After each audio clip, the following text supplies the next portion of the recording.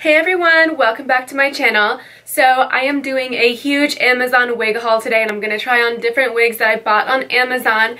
And if you guys know me, you may know that I do have my own wig collection. So you're probably wondering, why are you buying wigs from Amazon?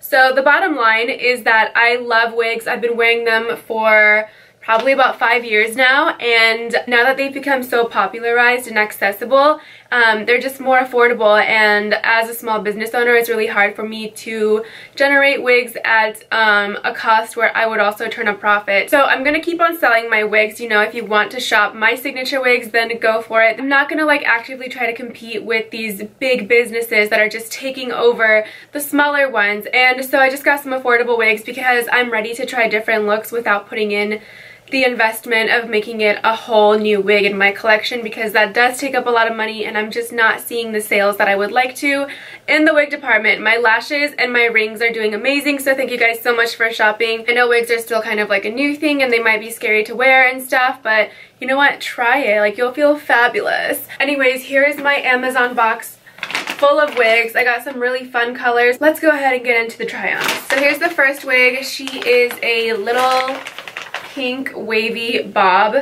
Um, and you might see a lot of Drag Race references in this video. I'll try to keep that to a minimum. But in season 11, um, Plastique Tiara was like my absolute favorite. And I felt like I could relate to her because I do have an Asian family who's disappointed in me for different reasons.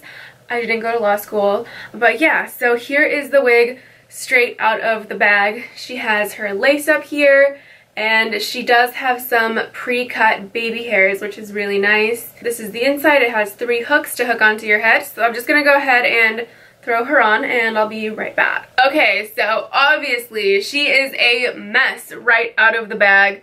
Um, the baby hairs are nice. I really do like that. They have those there. Obviously the lace needs to get cut around here. Um, I would totally like to see some teasing done up here you know, and just wear it kind of like in the face like that. But other than that, she's cute. Yes, this girl is LadyCode approved. The hair is super soft and silky. And yeah, I'm pretty impressed, Amazon. Alright, so here's the second one.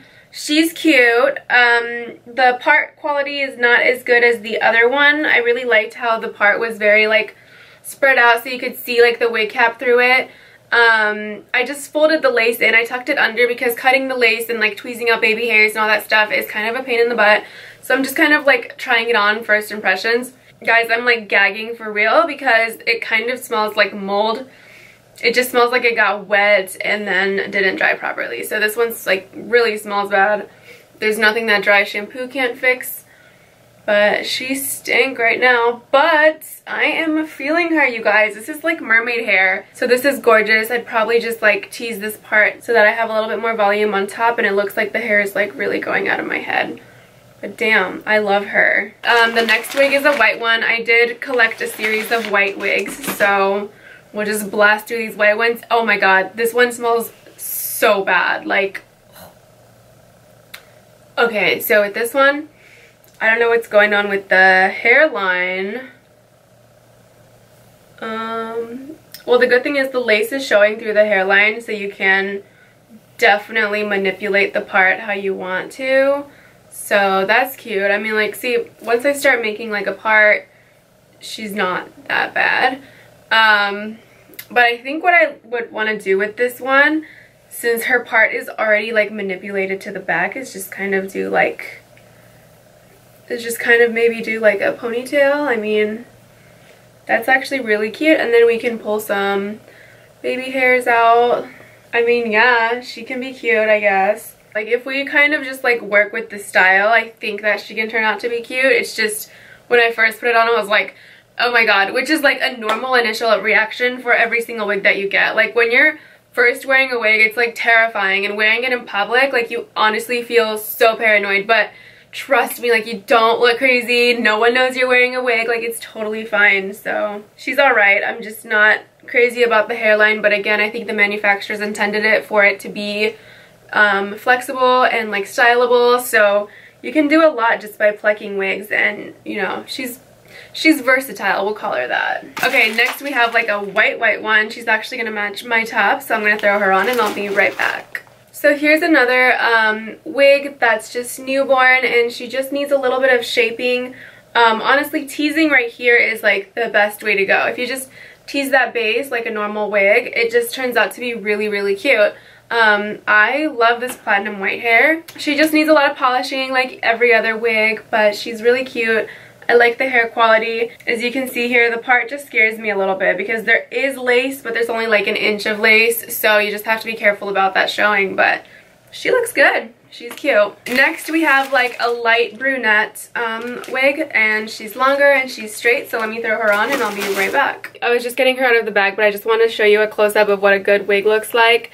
Um, she has like the plucked baby hairs and the hairline is thinner and that will always give you like a more natural look so you always want to look for something like this in a wig. Okay so I don't know if this honey color is my color but um, the baby hairs are giving me a hard time right now because they have to get trimmed, but I am so happy they're there. And since they're attached to the lace, I just don't want to like tuck it under too much. But this is just so you guys have a general idea.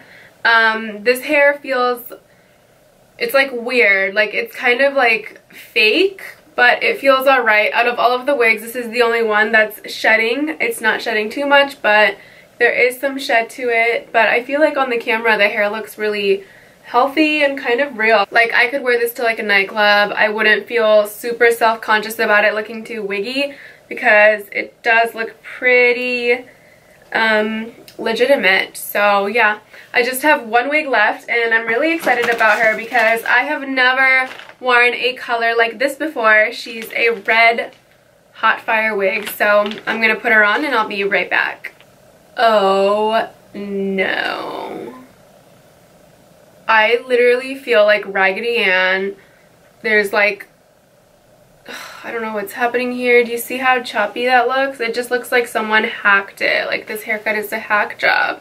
Um, the idea of it is very cute and I feel like it could look super fierce. It's just that this is just, eh, like, you see what's going on there. So, yeah, but she's cute. I like this color. I've never tried it before and I'm kind of feeling it so yeah. Um so that was all the wigs that I got that I am trying on in this video. I hope you guys enjoyed this. If you want to see more hauls give this video a thumbs up and I want you to comment down below and tell me which wig is your favorite. So thank you guys so much for watching and I'll see you guys in my next video